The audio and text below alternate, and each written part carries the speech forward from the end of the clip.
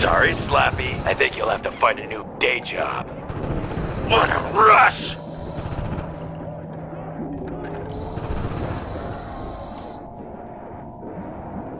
See ya. Wouldn't want to be ya.